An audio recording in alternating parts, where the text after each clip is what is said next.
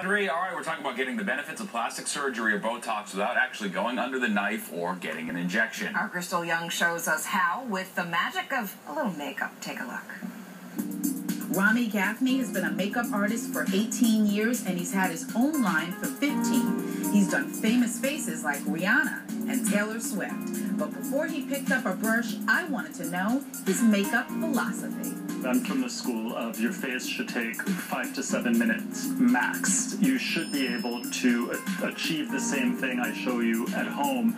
Otherwise, what's the point? Joanne wanted to get rid of the creases from her mouth to her chin and to minimize the frown lines between her eyes. I'm going to show you how to create the effects of fillers, filling this area. I'm going to start with a little wrinkle relaxing cream. Um, this is called Freeze Frame, and it's sort of like spackle. You want to kind of fill the area, and you want to apply it and kind of let it set. And I'm going to add a little moisturizer on top. Now concealer. You're putting it everywhere there's a line that bothers you. Ramy suggests you blend up and down in the direction of the line. Lip gloss, eyeliner, and mascara finish the look. Now it's Lauren's turn. She wants fuller lips. Ramy starts with concealer. We want to get the concealer into kind of the nooks and crannies of your lips, basically.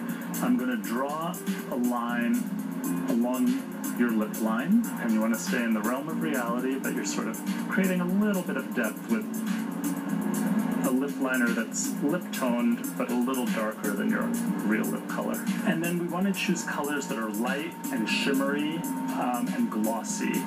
All of the above make your lips look fuller. Finally, a little highlighter to the center of each lip, a swish of gloss, and she's done.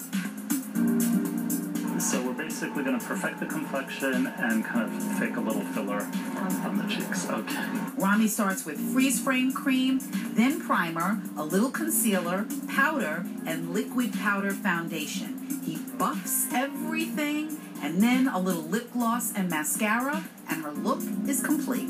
Three different issues, three transformations. So I think Ramy has proven that you don't need expensive fillers and injectables.